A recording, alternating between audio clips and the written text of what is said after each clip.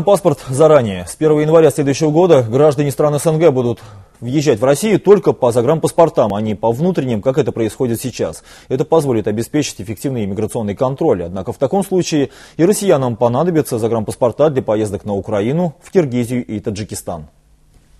Данное государство является довольно-таки популярным направлением для посещения нашими гражданами. Это в первую очередь родственные связи.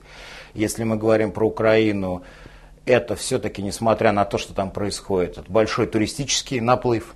Управление Федеральной миграционной службы по Оренбургской области обращается к гражданам с просьбой не откладывать вопрос оформления заграничного паспорта, оформить его своевременно, заранее, сейчас, спокойно, не а, дожидаясь какого-либо ажиотажа.